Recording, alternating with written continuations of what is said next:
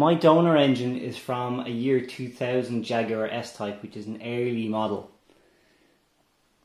As a result, I have uh, this type of lower inlet manifold and fuel rail. As you can see, it's plastic and basically has two sets of gaskets. There's one that sits in between the engine and the uh, lower inlet manifold, and then one that sits in between the lower inlet manifold and the upper inlet manifold, which is aluminium on the stock uh, Jaguar. So what uh, Rocketeer advise is to use a, a later inlet manifold from a later Jaguar S type. And these have a slightly different design. They're actually taller uh, because the gaskets are integrated into them. You just replace these rubber parts when you're swap swapping them out. And you can see that uh, there's the rubber on the bottom and the top instead of whole separate gasket like this. They also have a, uh, a metal fuel rail. So what I'm doing is I'm going to swap over um, all of the injectors from the old style into the newer style. I think these started from uh, around about 2003 or something like that. They seem to fit better. I think both work, but these ones fit better with the uh, carbon fiber inlet manifold. So that would sit on top like this. Getting these injectors out of the old manifold was really difficult. They were in there, stuck in good and tight. I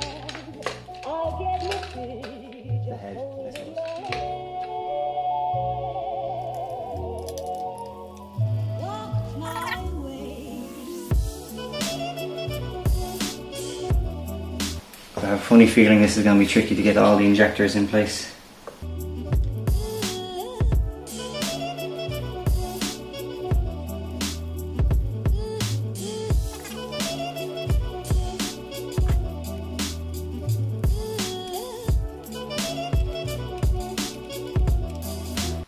I kept all the bolts from the Jaguar S-Type when I was stripping it down and taking the engine out. So this is all the bolts. I had to fish through and I found what looks to be a very similar one I can use here.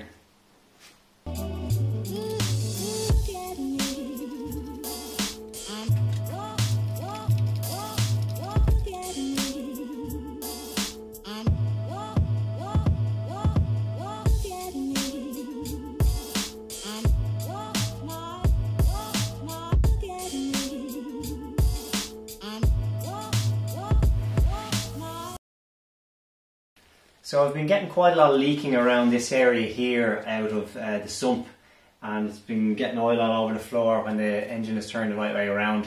So what I'm going to do is take off the sump. Um, I've bought a new gasket from Jaguar and uh, I'm also going to apply sealant. I didn't do that last time around. So hopefully that'll stop the leak. There's no oil in the sump but just the residual oil that was in the engine has been dropping out of it all the time constantly. So we'll give it a go.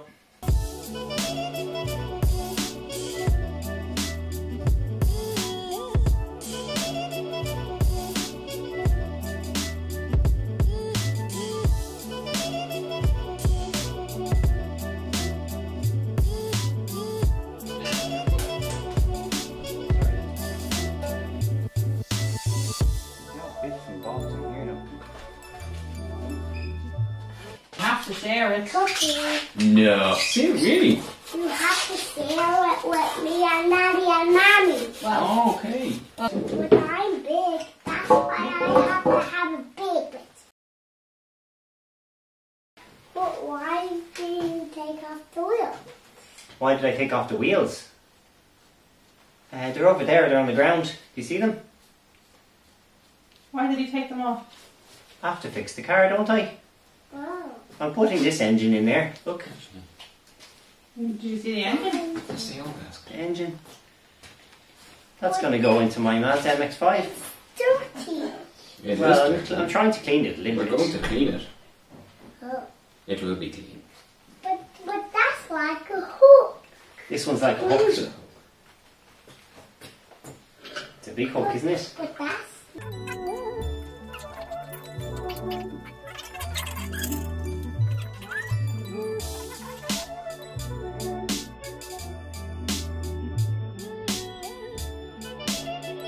Bye.